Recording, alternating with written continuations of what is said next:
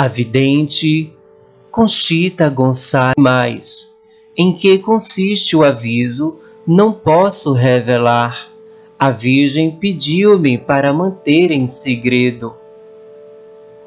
Queira Deus que, graças a esse aviso, nos emendemos e cometamos menos pecados contra ele, diz a vidente Conchita Gonçalves.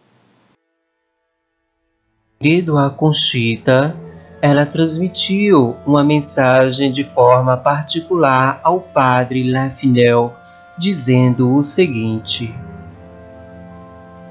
aviso que a Virgem vai nos enviar é a maneira de castigo para nos aproximar os bons mais de Deus e para divertir os demais.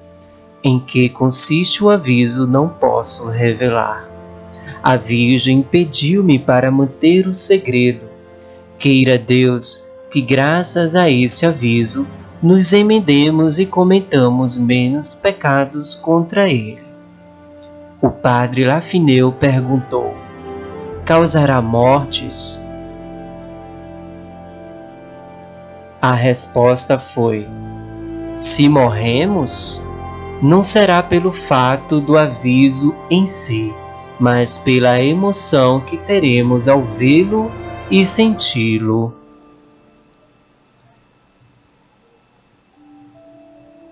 O padre Lafineu disse que, com palavras simples, precisas e muito claras, deviam bastar como deveriam ter bastado as da irmã Lúcia em Fátima no ano de 1938, quando a irmã escrevia ao bispo: Creio que aquilo a que chamam de aurora boreal é justamente o sinal que a Virgem me deu de que os acontecimentos profetizados estão próximos. Tais acontecimentos fizeram mais de 26 milhões de mortos. Sobre a natureza do aviso, temos a explicação da vidente Conchita, a tia Maximina, que ela depois escreveu. Disse-me que um dia iríamos sofrer um desastre horrível em todas as partes do mundo. Ninguém escapará. Os bons para se aproximarem mais de Deus, os outros para se emendarem. Seria preferível morrer a suportar por cinco minutos que fosse o que nos espera.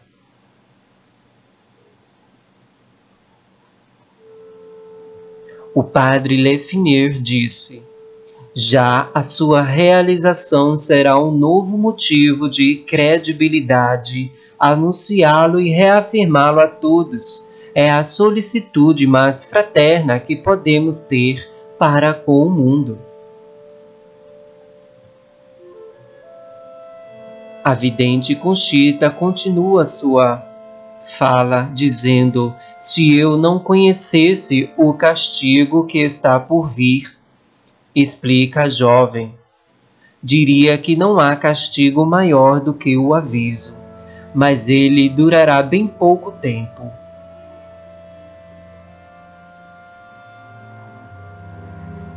Ainda explica, será horrível em grau máximo ah, se eu pudesse contá-lo a todos vós, como a Virgem me contou a mim. Ele é um fruto dos nossos pecados. Pode produzir-se de um momento para outro. Eu espero-o todos os dias. Se soubessem o que é, ficariam horrorizados. Por que não o torna público, para que o saibam todos os que vêm aqui? Estou cansada de dizer, ninguém faz caso. Dias mais tarde voltam o assunto. Conchita, desde que me fez essas confidências, penso muitas vezes no céu. Eu também, responde a vidente. De modo especial, quando vou para a cama, tenho muito medo de que aconteça durante a noite. Não nos damos conta da medida com que ofendemos ao Senhor. A Virgem Santíssima disse que todos sabem da existência do inferno e do céu, mas pensam nisso apenas por medo e não por amor a Deus. Por culpa dos nossos pecados, seremos nós mesmos a causa da natureza do aviso.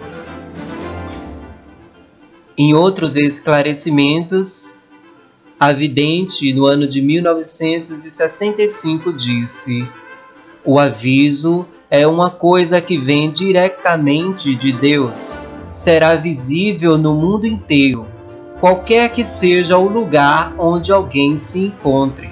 Será como que a revelação dos nossos pecados de forma interior vê-lo-ão e sentirão tanto os crentes quanto os não crentes de todos os países. E mais, é como uma purificação para o milagre. É como uma catástrofe, fará com que pensemos nos mortos, ou seja, que prefiramos estar mortos do que sofrer este aviso. Conchita ainda diz: o aviso será uma correção de consciência do mundo. O Senhor o enviará para nos purificar, a fim de que podemos apreciar melhor o milagre, pelo qual provar-nos claramente o seu amor.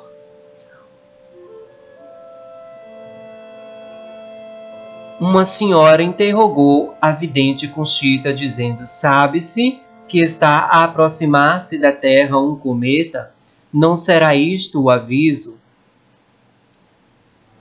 Não sei o que é um cometa, mas se é alguma coisa que depende da vontade dos homens, não. Se, porém, depende de Deus, é possível. Saímos em direção à igreja e a senhora continua a perguntar à vidente. Conchita pegou a senhora pelo braço e disse-lhe: Reze por mim. Tenho muito medo, muito medo. Sim, sim, o aviso é terrível. Mil vezes pior que terremotos. A senhora fica pálida e pergunta: qual a natureza do aviso? Conchita diz: será como um fogo não queimará a nossa carne, mas sentiremos no corpo e no espírito. Todas as nações e todas as pessoas o sentirão da mesma forma. Ninguém escapará, e mesmo os não crentes conhecerão o temor de Deus.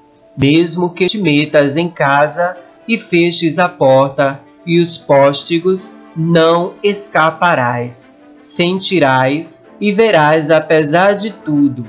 Sim, é verdade que a Santíssima Virgem disse-me o nome do fenômeno. Este nome existe no dicionário. Começa com A, mas pediu-me para não revelar. Conchita disse: Estou com tanto medo.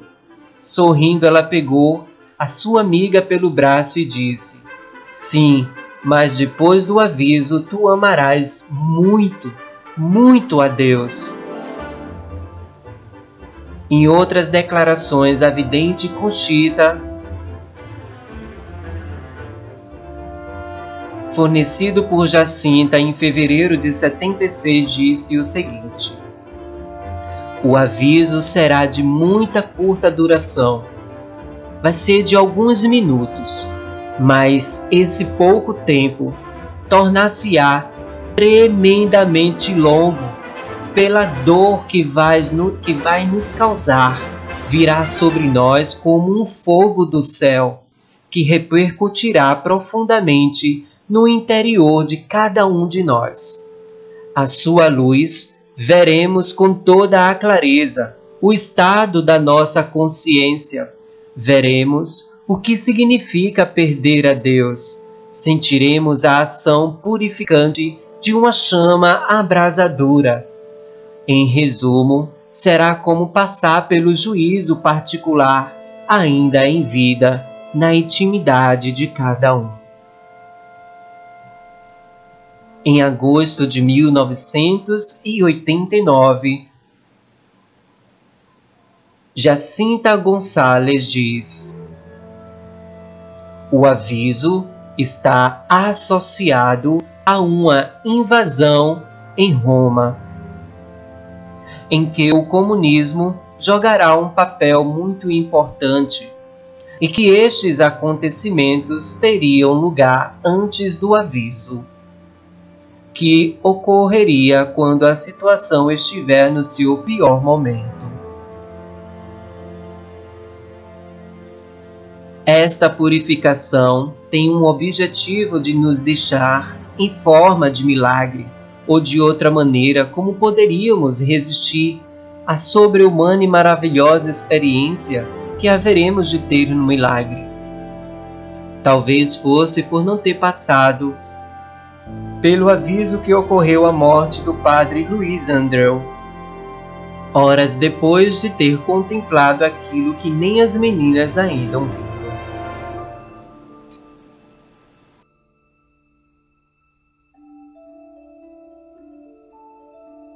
Irmãos, esse é um depoimento do aviso de Garabandal, a vidente Conchita Gonçalves, Jacinta Gonçalves e junto com o padre Lafineu. A vidente confirma: haverá sim o castigo.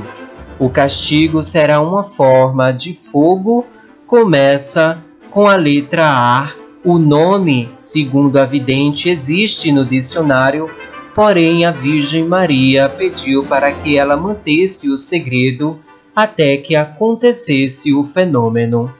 O castigo será uma forma de purificação de nossos corpos, nossa mente, nossa alma, para nos elevar e nos convertermos a Deus de forma urgente e para sempre.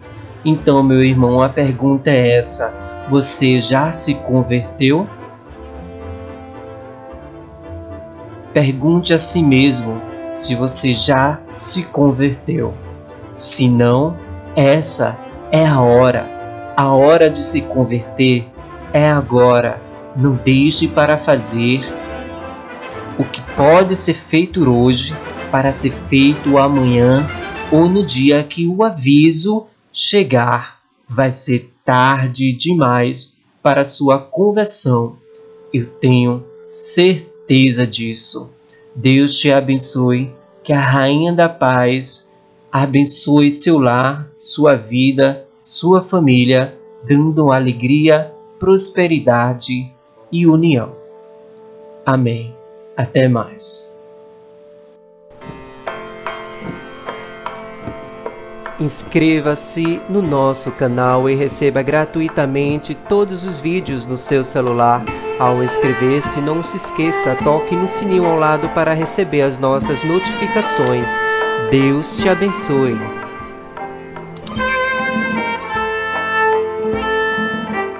Não se esqueça, curta o vídeo, se inscreva no canal e toque no sininho para receber as notificações. Até mais!